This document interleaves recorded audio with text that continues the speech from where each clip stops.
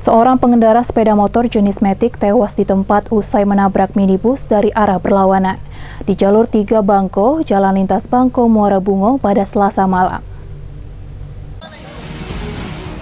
Kecelakaan maut hingga merenggut korban jiwa kembali terjadi di jalur 3 Bangko, Jalan Lintas Bangko, Muara Bungo. Kecelakaan ini melibatkan pengendara sepeda motor dengan minibus.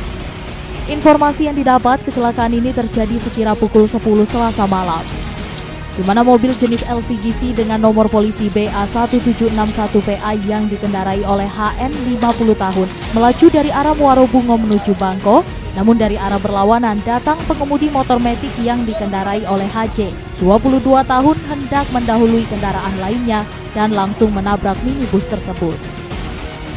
Akibat kecelakaan ini, korban HJ sempat akan dibawa ke rumah sakit namun nyawanya sudah tidak tertolong. Salah satu warga yang sedang duduk di warung sekitar lokasi mengaku terkejut mendengar suara tabrakan tersebut. Setelah mendatangi lokasi, ternyata korban pengendara sepeda motor sudah berada di bawah mobil. Untuk mengevakuasi korban, warga yang ada di lokasi mengangkat dan memindahkan mobil tersebut. Pas mendengar suara ada bunyi tabrakan, pas nyampe sini si korban sudah tergeletak di jalan. Diangkat dulu bang, soalnya korban di bawah mobil kan bisa diangkat ada mobil diposisikan di tengah karena korban di bawah mobil Berarti pas ngangkat tadi apa nengok tadi tuh? iya ya. Riko Saputra, Cek TV melaporkan.